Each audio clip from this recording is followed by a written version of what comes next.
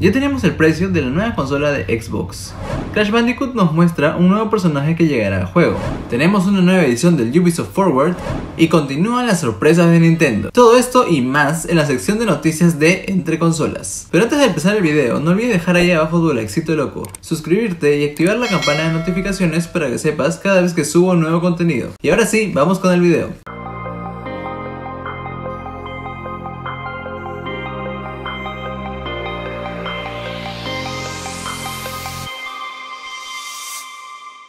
Para celebrar lo que sería el cumpleaños 31 del músico Tim Bergling, más conocido como Avicii, una nueva versión de su juego de ritmo llegará a Nintendo Switch y PlayStation. Este título cuenta con 35 canciones del artista con distintos niveles para que puedas dominar y disfrutar cada una de sus obras, en una experiencia que fue la visión del DJ sueco y que ahora puede ser disfrutada en estas dos consolas. El juego sido desarrollado por Hello There Games asociado con Wired Productions y tiene detrás a Avicii Music Original. Los beneficios generados por el juego serán destinados a la Fundación Tim Bergling, que ayuda a las personas en temas de salud mental. Y este juego llamado Avicii Invector en Core Edition está disponible para PlayStation 4 y Nintendo Switch. La versión estándar ya estuvo disponible desde antes en Xbox One y PC.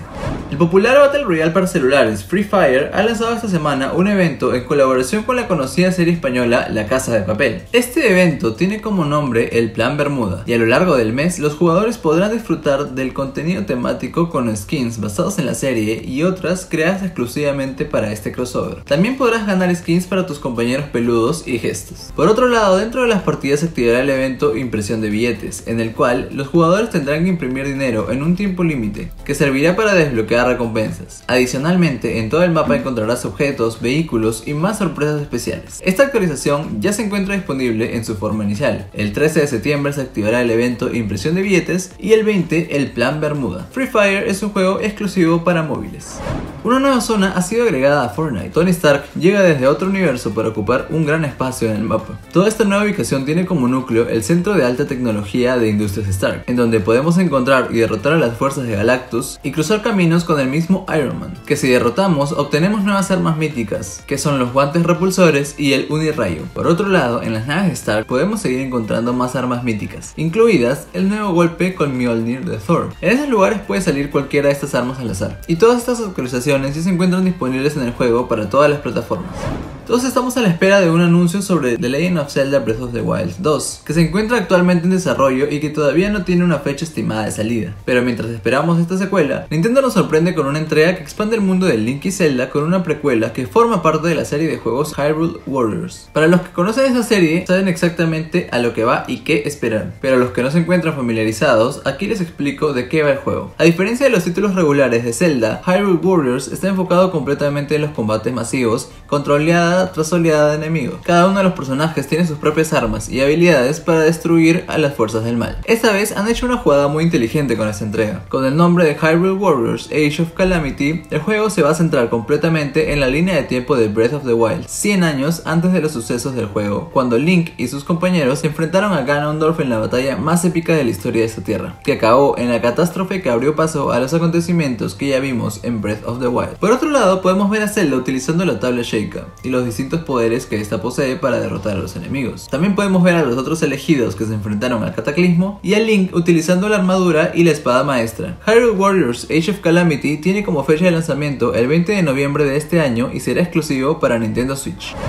A un mes del lanzamiento del juego, el equipo detrás de Crash Bandicoot 4 It's About Time nos revela al último personaje jugable que llega de un nuevo universo para unirse a Coco y Crash. Sona regresa con un diseño muy diferente al que estamos acostumbrados, y esta vez viene para quedarse. En este adelanto pudimos ver bastante el gameplay de sus niveles. En primer lugar se puede notar que sus movimientos son distintos a los de Crash y Coco. Al momento de saltar puede realizar un pisotón contra los enemigos y es el único personaje que tiene la capacidad de saltar por las paredes. Adicionalmente, Tona tiene una cuerda con gancho el cual puede lanzar para aturdir a los enemigos, para alcanzar cajas a lo lejos o para engancharse y moverse hacia la siguiente parte del nivel. Por otro lado, pudimos verlo en la acción en las versiones alternativas de los niveles. Como sabemos, cada uno tiene un modo invertido, que es una variación del modo espejo y cambian todo el nivel de forma horizontal, además de agregarle mecánicas nuevas. En el primero que vimos, el escenario inicial es todo blanco y negro, y a medida que avanzamos se va pintando poco a poco el nivel con nuestros movimientos. En el segundo, pudimos ver un nivel que se encuentra completamente sumergido en agua, lo que hace que los movimientos del personaje y de todos los enemigos sean más lentos, y hace que el jugador tenga que calcular de forma distinta cada salto. Por último, nos dieron un vistazo más a algunos mundos que visitan los personajes y los trajes que ahora se pueden desbloquear a lo largo de la aventura. Crash Bandicoot 4 It's About Time llega el 2 de octubre solo para PlayStation 4.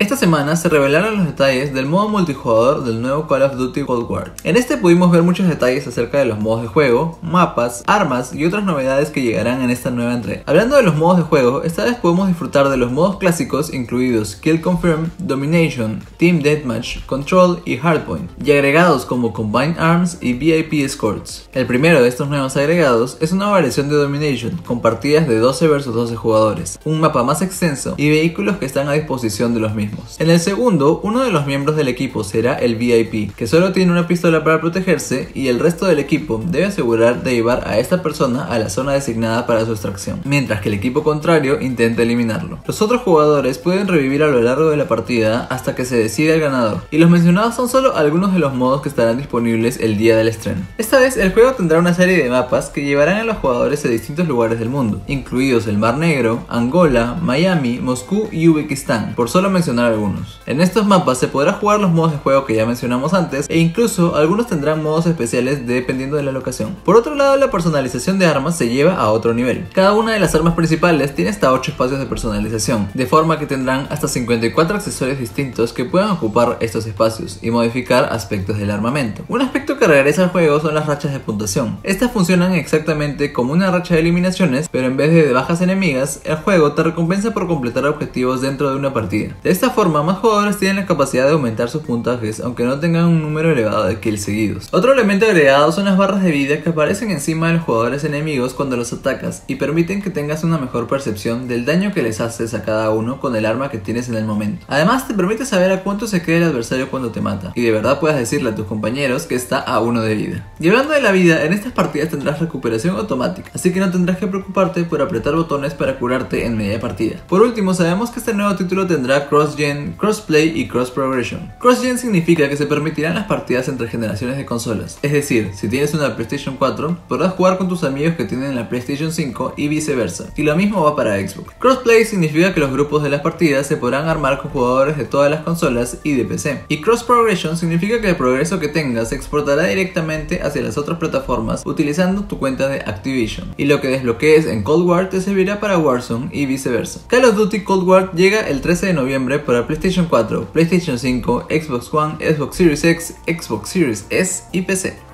Después de esperar todo el año por el dato clave que faltaba sobre las nuevas consolas que van a llegar en un par de meses, por fin tenemos la información sobre el precio de las nuevas Xbox. Microsoft tuvo la mala suerte de que esta noticia salió primero en una filtración, en la cual se mostraba el precio de la Xbox Series X y la Xbox Series S. Tras esta fuga de datos, la compañía se vio obligada a revelar de forma oficial la información completa. La Xbox Series X tendrá un precio de 499 dólares. Las especificaciones de esta consola ya han sido reveladas anteriormente, así como su diseño, lo que este dato es el último que faltaba para que los jugadores puedan tomar una decisión sobre la compra de la misma. La Xbox Series S tendrá un precio de 299 dólares y será una consola completamente digital. Tendrá el mismo rendimiento que la consola anterior, mayor velocidad de carga y de frame rates y mundos más dinámicos a nivel gráfico, pero todo esto en un tamaño más reducido, casi 60% más pequeña que la versión X. Ambas serán lanzadas el 10 de noviembre a nivel mundial y las preventas se pueden realizar a partir de este 22 de septiembre. Ahora solo queda ver cuál será la estrategia de Sony sobre el precio de sus nuevas consolas. Y ahora que estamos tan cerca de la salida de la nueva generación, quiero saber cuál es la consola que están dispuestos a comprar o qué les parece más llamativo. Yo definitivamente me iré por el PlayStation 5, porque ya tiene las series de juegos de las que soy fanático y porque siempre he tenido estas consolas de Sony.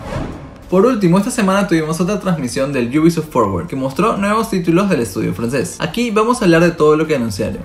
Lo primero que se mostró fue Immortals Phoenix Rising, que anteriormente era conocido como Gods and Monsters. Este juego tiene una temática de mitología griega, con criaturas, objetos y poderes de la misma. Incluso podemos esperar ver algunos de los dioses representativos. Según el tráiler con gameplay que vimos, vamos a poder utilizar distintos poderes de los dioses para movernos por todo el mapa y derrotar a las bestias que se encuentran en el camino para completar distintas misiones. Todavía no sabemos cómo desbloqueamos estas distintas habilidades o quién puede proporcionarlas, pero tal parece que podemos personalizar cuáles queremos en nuestra base principal. De la misma manera, tenemos distintas pociones que sirven para aumentar nuestra salud, estamina, ataque o defensa. Además, el movimiento por el mapa se podrá realizar a pie con una montura que puede obtenerse mientras progresas o volando con la habilidad de Fénix que le otorga alas. Por otro lado, hemos visto un poco del nivel de personalización inicial de nuestro personaje, no solo en el aspecto físico, sino en las armas y armaduras que portará en esta aventura. Tal parece que estos objetos se encuentran en todo el mapa, con cofres de botín protegidos por jefes o por desafíos que se deben resolver para acceder a estas bonificaciones. Tal parece que este último es un aspecto que estará muy presente en la entrega, con una gran cantidad de retos que requiere que el jugador utilice todos los poderes que posee para descubrir la forma de completarlos. Immortal Phoenix Rising llega el 3 de diciembre para todas las consolas actuales, las de nueva generación y PC. Hace unas semanas hablamos de la filtración de un nuevo título de Ubisoft que representa el regreso de la serie de Prince of Persia después de tantos años, que en este directo nos dieron un vistazo de qué veremos para el futuro de esta saga. Pero todavía no podemos esperar nuevas aventuras, ya que el nuevo juego fue Prince of Persia The Sands of Time Remake. El juego original salió en 2003 y esta nueva versión mantiene el estilo visual de los personajes y escenarios, y las mecánicas de manipulación del tiempo que lo representan, pero le agrega gráficos modernos que seguro van a realzar cada uno de los detalles de los niveles. El tráiler no incluía gameplay de este remake, pero podemos estar seguros que pronto veremos más de este juego, ya que su fecha de lanzamiento es el 21 de enero del 2021 y estará disponible en PlayStation 4, Xbox One y PC. El juego de Scott Pilgrim ve la luz una vez más. Este encantador juego beat'em up basado en la serie de cómics del mismo nombre reúne a Scott y sus compañeros en batallas contra muchos enemigos al mismo tiempo, con un estilo visual muy retro y una jugabilidad frenética. Este juego fue muy querido en su tiempo y era uno casi imposible de obtener por medios convencionales, debido a que no se encontraba disponible en ninguna tienda virtual. Ahora, 10 años después de su lanzamiento original, podemos volver a las aventuras pixeleadas con nuestros personajes favoritos. La edición completa viene con personajes adicionales como Knives y Wallace. Scott Pilgrim vs. The World The Game Complete Edition volverá a finales del año en PlayStation 4, Xbox One, Nintendo Switch, Stadia y PC. Ya hemos tenido toda una conferencia que nos mostró los aspectos generales del juego nuevo de Watch Dogs, la organización a la que nos enfrentamos, la ciudad en la que está ubicada la historia y el reclutamiento de personajes que es el aspecto más importante de esta entrega. Esta vez la demostración hizo énfasis en este último punto. Hemos podido ver más tipos de personajes que podemos agregar a nuestras filas durante el juego. Vimos a un personaje que está especializado en escapes con vehículos a velocidad, una hacker que puede electrocutar a los enemigos con sus propios dispositivos electrónicos y una artista callejera que posee una pistola con balas de pintura para dejar incapacitados a sus rivales. También nos enseñaron que la forma de convencer a estas personas de unirse a nuestro bando es hablando con ellos en la calle y haciendo misiones para demostrar que vale la pena ingresar a nuestra organización. Por otro lado, vimos que existen algunos personajes especiales que serán difíciles de encontrar y que por nada del mundo queremos que se nos escapen porque son aliados con habilidades únicas, como una apicultora que posee un arma especial para noquear enemigos y que incluso puede enviar una nube de abejas para aturdir. Tenemos que considerar bien en qué misión usar a cada personaje, porque hay algunos que no son tan aptos para completarlas. Pobrecito. Y otros tienen hábitos muy curiosos que pueden no ser los mejores, como tener hipo incontrolable mientras intentas pasar desapercibido entre guardias. No es la mejor característica de un sicario. Lo bueno es que sin importar a quién elijas, existe una serie de equipos y herramientas que pueden ser utilizados por todos y que aumentados a las habilidades especiales de cada uno pueden resultar en un combo ganador. Y para los fanáticos de la serie, el pase de temporada tendrá incluido a Aiden Pierce, protagonista de la primera entrega, que llega como un personaje jugable con su propia sección de historia. Watch Dogs Legion será lanzado el 29 de octubre de este año para todas las plataformas posibles, que ahora ya son como mil. Para los que quieren adrenalina pura, combinada con velocidad y viruetas en el aire, llega Riders Republic. Este juego de deportes extremos combina bicicletas, patines, esquís, tablas de snowboard, parapentes y hasta jetpacks en desafíos de velocidad y precisión en el aire. En estas pistas competiremos contra hasta 50 personas en lugares distribuidos en un mundo abierto ubicado en distintos parques naturales de Estados Unidos. Nos ha mostrado que no todo se centrará en ir más rápido o saltar más alto. También encontraremos desafíos como pasar una cuerda floja en bicicleta, bajar por una colina rocosa, o planear entre bosques. Otro dato del gameplay es que podemos ajustar la cámara en primera o tercera persona según nuestro gusto. Adicionalmente tendremos eventos temporales con recompensas únicas. Y por último podemos ver una pista especialmente construida para hacer acrobacias y acumular puntos. Riders Republic estará disponible el 25 de febrero para todas las plataformas. Y esos fueron los anuncios de los nuevos juegos que se vienen. Ahora mencionaremos otros juegos que estuvieron incluidos en la presentación y que van a recibir actualizaciones para todos los usuarios activos. Hyperscape tendrá un nuevo modo a tiempo limitado llamado Turbo Mode, que solo incluye armas de máximo nivel, mayor velocidad de las partidas y regeneración de vida. Este nuevo modo llega el 15 de septiembre para todas las plataformas. Rainbow Six Siege llega con un nuevo parche de nombre Operation Shadow Legacy, que introduce la nueva temporada del juego con el legendario Sam Fisher, que será conocido aquí como Zero. Además, se rehizo el mapa de Chalet, se hizo un nuevo balance de clases, se implementó un nuevo sistema de ping y se agregaron muchas otras novedades que ya están disponibles en el juego.